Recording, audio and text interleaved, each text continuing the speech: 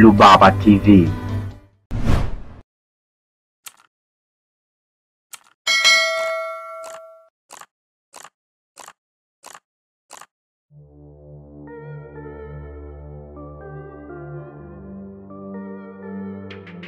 Karibu mpenzi mtazamaji wa lubaba TV, na leo ni siku nyingine tena ambayo tunaanza somo jipya kwa lengo la kufanya wewe mfugaji na mkulima kuweza kujifunza vitu kadha wa kadha kwa lengo la kufanya kilimo na ufugaji wenye tija.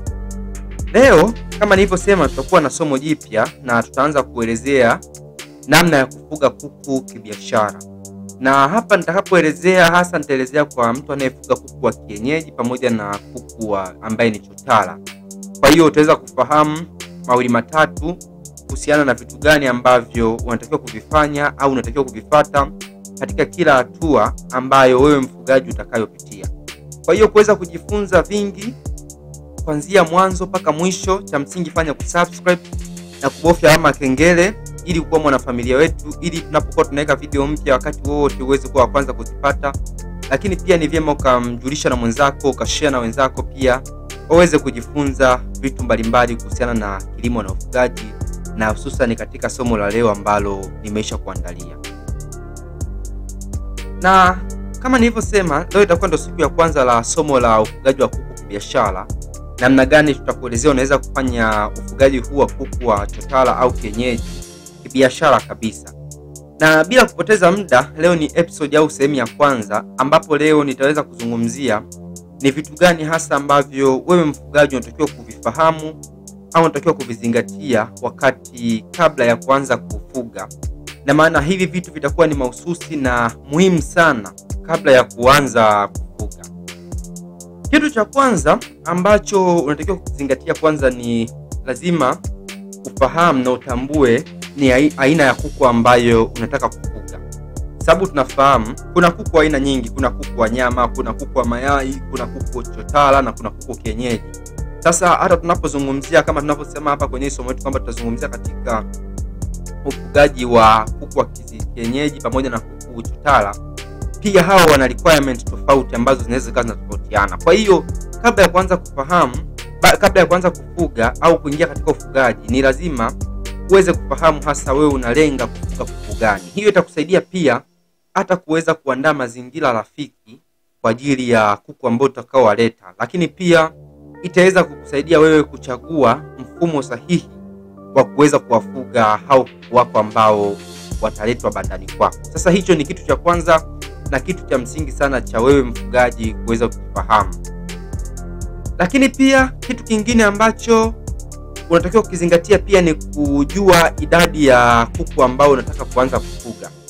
Hiyo itakusaidia wewe mfugaji kuweza kuweka idadi kamili ya vifaa ambavyo utatumia kufugia, mfano saizi ya banda, lakini pia idadi ya vyombo vya chakula na, na maji, lakini pia kiasi cha chakula, mtaji, pamoja na mapato, pamoja na faida ambayo utaipata. Hiyo yote itakuweza kusaidia ukifahamu idadi ya kuku ambao utakufuga, itaweza kusaidia wewe kuweza kupata picha kamili kwa hivyo vitu ambavyo nimevitaja.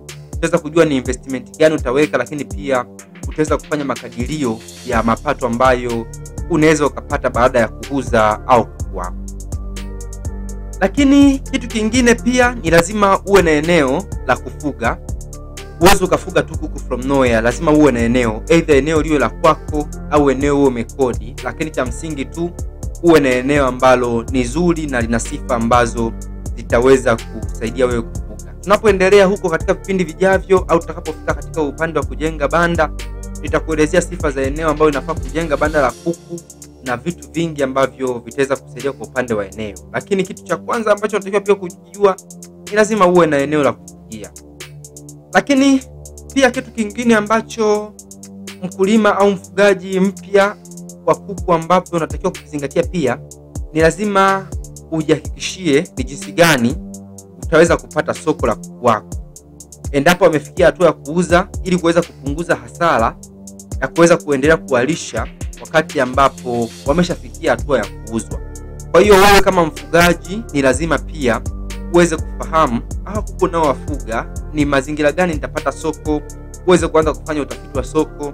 Na ikiweza ikiwezekana kabisa ni vyema kuanza kutafuta soko kabisa kabla ya kuanza kufuga, Hii itakupa uhakika wa wewe kujua kwamba ninapokuwa nafuga, wanapofikia hatua ya kuuzwa, basi kuku wangu naweza nikawauza katika sehemu gani, kuweza kupunguza hasara ambazo zinaweza zikajitokeza wakati wa wafuga tu kuku wakaendea kula au kutumia resources na ambapo hawawezi kuzalisha tena.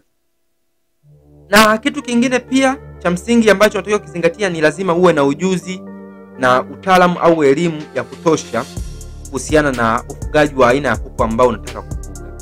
Hii ni lazima kwa sababu itakusaidia wewe kuweza kufuga au mtu ambaye utakuwepo kuweza kusaidia kuwapa uangalizi kuku wako kuweza kufanya kwa usahihi zaidi, kuweza kupunguza athari ambazo zinaweza zikajitokeza, kwa mfano magonjwa na changamoto mbalimbali, mbali, lakini pia kuweza kuhakikisha unapata products ambazo zinaweza zikawa competent au zinaweza zikawa na ushindani sokoni. Sasa hicho ni kitu cha kwanza. Usianze tu kufuga ukasema kwamba mimi nitajulia huko huko. Ni lazima wewe, kama huwezi huna ujuzi, basi tafuta mtu ambaye ana ujuzi, au uweza tafuta muda wa kujifunza ili kuweza kufahamu na kufanya ufugaji wenye.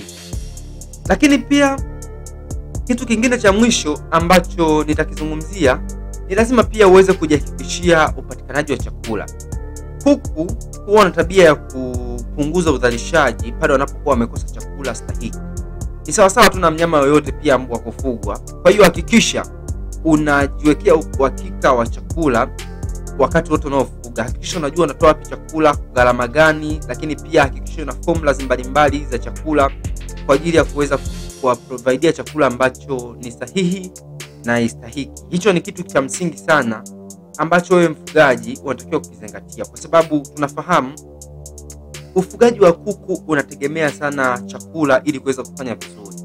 Kwa hiyo endapo kuku atakosa chakula bora au atakosa chakula cha kutosha, moja kwa moja basi inaweza ikapelekea magonjwa mbalimbali, lakini pia inaweza ikasababisha vifo kwa kuku wako hao. Kwa hiyo hicho ni kitu cha kwanza, I mean, kitu kingine cha msingi sana wewe kama mfugaji unatakiwa kuzingatia.